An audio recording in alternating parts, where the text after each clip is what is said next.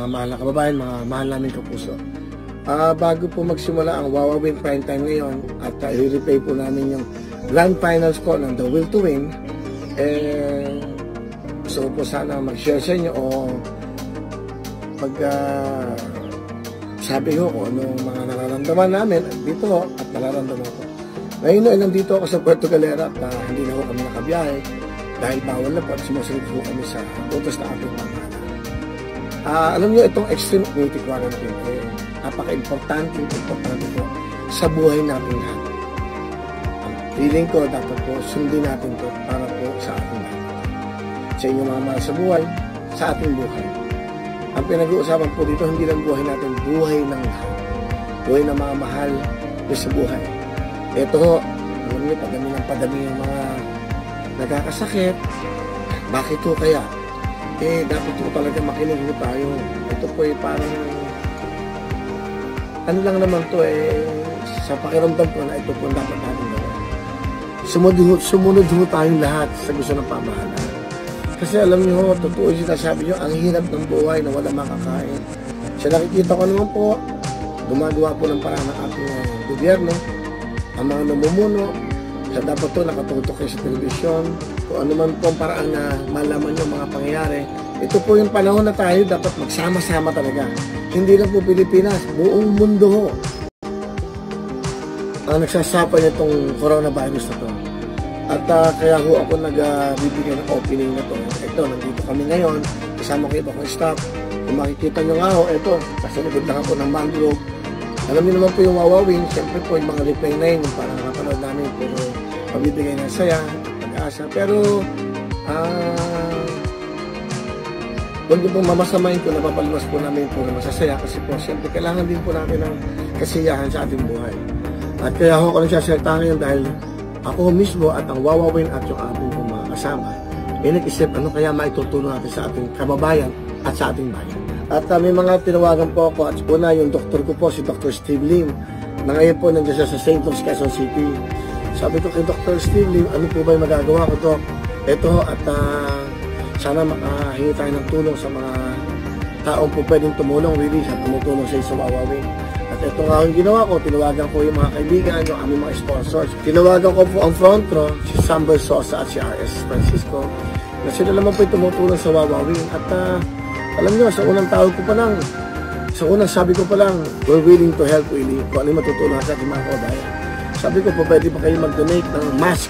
Sabi ko, si Sam sa akin, uh, nag-order na kaagad siya ng 20,000 na face mask. So, parating po sa 24, in-order na po at uh, sabi ko, meron ba tayong pwedeng uh, maitulong pa.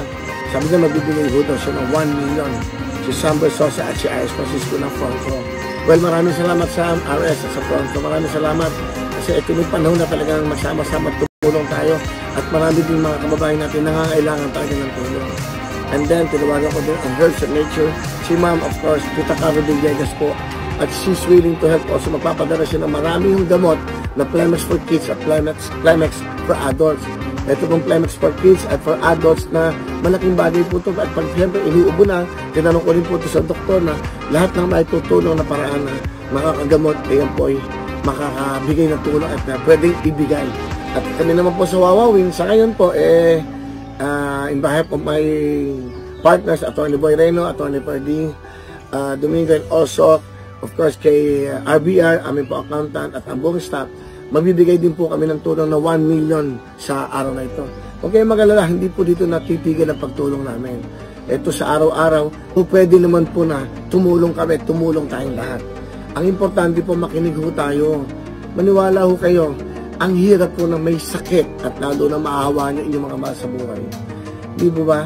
Ito, gumagawa kami ng paraan kahit na nandito po kami sa Portugal. Kahit po dito sa Puerto Galera, eh, gumagawa din ho ako ng paraan. Yung mga pulis, dito yung mga sundalo, sa checkpoint, nagpapadala din ho ako ng bigas, nagpapadala din ako ng kape, nagpapadala kami ng mga noodles, at lahat, damot. So, awa ng Diyos ay nakakaraos kami dito. Ito pong ginagawa ko ngayon at nawawawin ay yung mga frontliners kasi sila po ngayon nagsisilbi sa atin. Eh.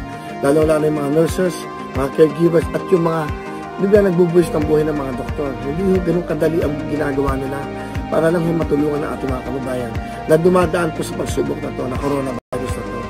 At ah, hanggat kayang makagawa ng paraan, hindi rin ako nakakatulog dahil syempre po, ah, iniisip po namin yung ano magagawa natin tulong para matapos po ito. Saka, mas maganda ho yung wala muna tayong sinisita, wala muna tayong tinitingnan na mali ang ginagawa. Ito, gumawa tayo ng puro kabutihan. Sila naman ho mananagot yan eh, hindi sila gumagawa ng kanilang obligasyon. Ang importante, araw-araw ho, na kung ako'y po pwedeng ah, gumawa ng paraan na makatulong bago magsimula ang Wawawin. Monday to Friday naman po kami. Eh alam niyo naman, mag-reply na kami dahil wala na ho kami na itape at hindi naman kami pwedeng mag-live. Ako gusto gusto ko mag-live pero sabi po ng management, hindi na po pwede dahil wala na ho nakakapasok ng mga cameraman, engineering, wala na po kami mga ganon. So iniingatan na rin po kami ng kalusugan. So kagawa ho ako ng paraan. Ito, naisip ko na sa isang cellphone, ito, ayan, nakakapagsalta. Buti may kasama akong konting staff dito, nagtutulong-tulong kami. At ah, sabi ko, itong gawin natin. And also, para, maraming salamat kay Dr. Steve Lin dahil ngayon pa po nag-uusap kami ano nangyayari.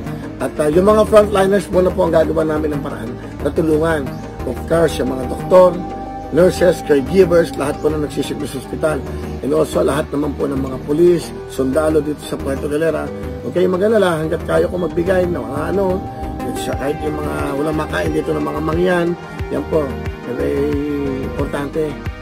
Masarap sa pakiramdam ho yan. At sana ho matapos at itong pagsubok sa ating buhay.